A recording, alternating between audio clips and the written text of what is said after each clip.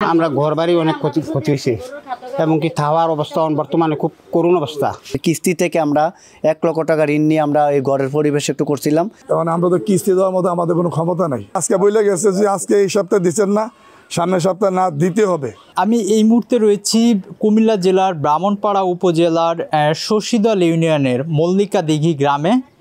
এই গ্রামের যে বন্যা পরিস্থিতি সম্পর্কে একটু যদি জানাতে চাই যে দীর্ঘ প্রায় দুই সপ্তাহ যাবৎ কিন্তু এই যে মল্লিকান্দি যে গ্রাম রয়েছে, এই গ্রাম সহ আশেপাশের যে সকল গ্রাম ছিল, এই সকল গ্রামের মানুষ কিন্তু পানিবন্দী ছিল। তবে গতকাল থেকে কিন্তু এই পানি কিছুটা নামতে শুরু করেছে। তবে এখনও পর্যন্ত কিন্তু এই গ্রামের শত শত বাড়ি কিন্তু পানির তলে তলিয়ে রয়েছে।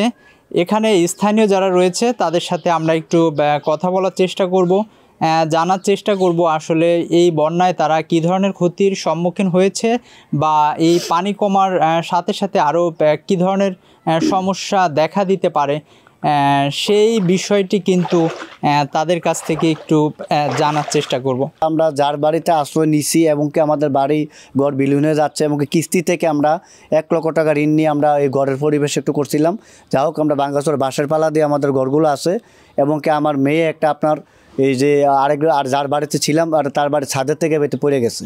ছাদের থেকে পড়ে গিয়ে আমার মা যাওয়ার সমস্যা পাইছে এখন আমরা সার্বিক সহযোগিতা কামনা করি আর কি।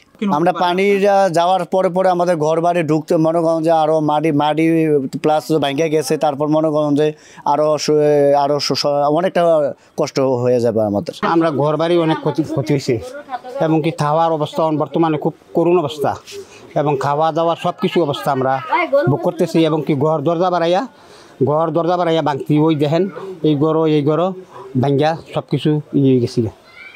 আমরা এই অবস্থায় আছি। যদি সরকার একটু হেল্প করে তো আমরা খুব ভালো হবে। বছর খানেক লাগবে আমাদের এই যা ক্ষতি হয়েছে এইগুলা আস্তে আস্তে ইয়ে করতে করতে। যদি সরকার কত বছর পরে এরকম পানি দেখলেন এই দুই হাজার সাইডের বন্যার পরে। বন্যা আমাদের বাড়িঘর তো তলাই গেছে। তারপরে আমাদের হাঁস, মুরগা, গরু, ছাগল, এগুলো তো নিয়ে আমাদের খুব বিপদগ্রস্ত আমরা। এখানে আমরা মানুষ খুব কষ্টের মেজে আছি।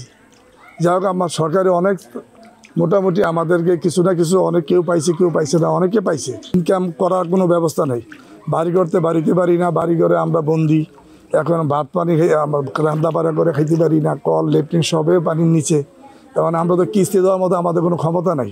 তখন কিস্তি হলে তো আমরা কিস্তি আনছি আমরা দিতে তো বাধ্য। দেওয়ার অক্ষমতা। তবে আজকেও কিস্তি হলে ঘুরে গেছে। কেউ দিছে, কেউ দিতে পারে নাই।